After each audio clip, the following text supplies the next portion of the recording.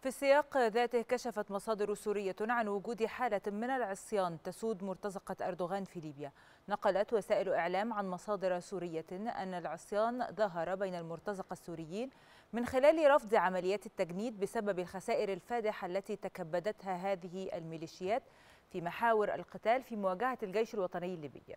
فضلا عن عدم صرف مستحقاتهم طبقا للوعود التركية والتي تبلغ 2000 دولار شهريا للمرتزق الواحد. وأشارت المصادر إلى أن حصيلة قتلى مرتزقة تركيا في ليبيا بلغت 339 شخصا من بينهم 20 طفلا دون 18 عاما.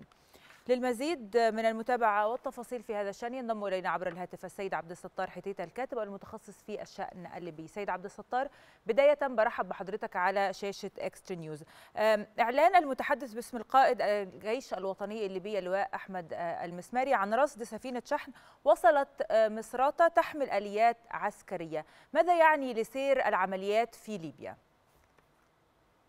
أعتقد أن النظام التركي فوجئ بقدرة الجيش الوطني الليبي على الإمساك بزمام الأمور وعلى إعادة التموضع وتغيير التكتيكات. وبدلا من أن كان يعمل على محاربة ميليشيات مسلحة يبدو أن الجيش الوطني الليبي أدرك خلال الأسابيع الماضية أنه يحارب جيش دولة أخرى وهي تركيا.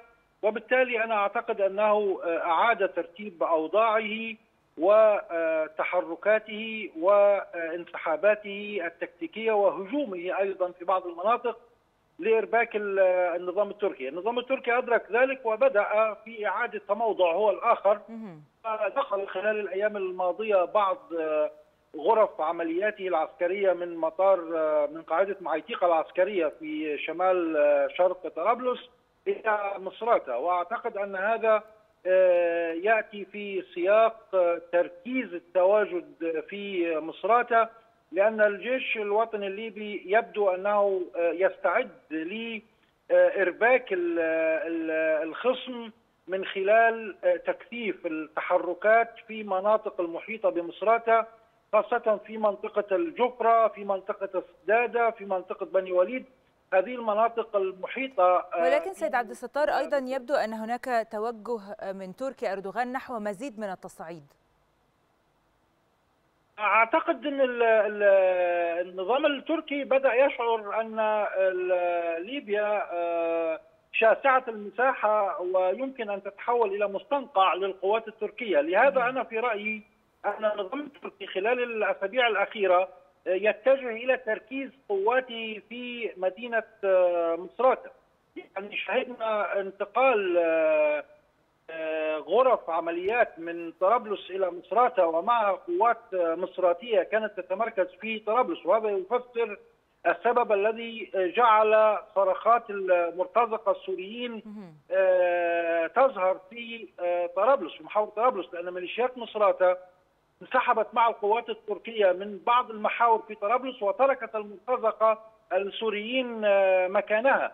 طبعا المرتزقة السوريين ليس لديهم خلفية بجغرافية طرابلس والأماكن التي يحاربون فيها ولهذا وقع عدد كبير منهم قتلى. والأتراك يبدو أنهم يعني جبناء ويتركون من أتوا بهم لمصيرهم وهو القتل أو أو الأسر. ويتحركون وفقا لمصالحهم واستراتيجياتهم بالتحصن في مدينة مصرات. طيب سيد عبد الستار هذا التذمر والغضب لدى المرتزقه السوريين في ليبيا كيف سينعكس على أردوغان؟ المشكلة إن هذا النظام نظام يعني غير إنساني يعني يقوم بابتزاز الشباب السوري خاصة الذين يعيشون مع أسرهم في المعسكرات أو مخيمات اللاجئين ويقوم بإرسالهم إلى المحرقة بالإضافة طبعا إلى جماعات أخرى إرهابية معروفة من الشمال السوري ويبدو أن هناك نوع من غض البصر عن هذا التحريك أو هذا النقل للمرتزقة وللاجئين السوريين. للتخلص منهم في ليبيا سواء بالذوبان في المجتمع الليبي أو بالقتل والأسر في حال ما استمروا في رفع السلاح في وجه الجيش الوطني الليبي وضد الليبيين. لهذا أنا أعتقد أن نظام أردوغان يقوم بتحريك قوات لأسباب كثيرة منها إرضاء الروس، إرضاء الأوروبيين والتخلص من هاجس الإرهابيين الذين يمكن أن يشكلوا تهديد لسلطاته في الداخل التركي في حال ما إذا تركهم في تركيا. طيب هذا الغضب في الذي يعني يسود هذه على هؤلاء المرتزقة سيد عبد الستار هل سيؤثر بشكل أو بآخر حال قرر أردوغان تجنيد المزيد من المرتزقة في وقت لاحق؟ أعتقد أن الأوساط أوساط الشباب السوري سواء كانوا من الشباب العاديين أو الشباب العقائديين المتطرفين بدأوا يشعرون بخدعة وتلاعب نظام أردوغان. لأنه حتى الرواتب التي تم الاتفاق عليها مع وزارة الدفاع التركية وهي 2000 دولار المرتزقة الأتراك بدأوا يتحدثون صراحة عن أنهم لا يتلقون إلا حوالي 5000 أو 7000 ليرة تركية وهي أقل من 1000 دولار بكثير. يعني هناك نوع من التلاعب بمصير وحياة ورواتب هؤلاء المرتزقة السوريين، لهذا أنا أعتقد أن عملية التجنيد من المنبع من الشمال السوري ومن داخل المخيمات اللاجئين في تركيا اللاجئين السوريين سوف يحدث فيها ارتباك كبير وقد يتراجع الشباب السوري عن الانخراط وعن بيع أنفسهم لطموحات أردوغان وللجيش التركي. طيب ولكن سيد عبد الستار على يعني في في هذا الجانب تحديدا يبدو أن أردوغان لديه إصرار على التواجد في ليبيا. هل تتوقع أن سيكون لأردوغان أي خطط بديلة حال استمر هذا التذمر من قبل المرتزقة؟ وأردوغان في رأيي في الوقت الحالي في مأزق خاصة بعد أن تحركت أطراف غربية ضد ممارساته في ليبيا، يعني على سبيل المثال هو كان يطمح في شغل قاعدة الوطية بعد انسحاب الجيش الوطني منها، هو في الوقت الراهن غير قادر على التواجد في قاعدة الوطية لأسباب تتعلق بالتوازنات في أوروبا وهناك فرنسا هناك إيطاليا هناك الولايات المتحدة الأمريكية. يعني هناك أطراف كثيرة لن ترضى عن تواجد عسكري تركي في شمال أفريقيا في قاعدة الوطية. أيضا الحديث الإعلامي عن أنه سيبدأ في التنقيب خلال الشهور المقبلة في البحر المتوسط عن النفط وعن الغاز وأنه أبرم اتفاقيات للتنقيب في البر الليبي عن البترول وعن الغاز. هذه اتفاقيات ظهر أنها تتعارض مع اتفاقيات وقعت مسبقا ما بين الأطراف الليبية وشركات دولية منها شركات فرنسية وشركات بريطانية وشركات أمريكية. وبالتالي أنا أعتقد أن ما يقوله أردوغان هو للتسويق المحلي ولإنقاذ نظامه السياسي وللظهور بمظهر الرجل القوي أمام أنصاره في الداخل التركي.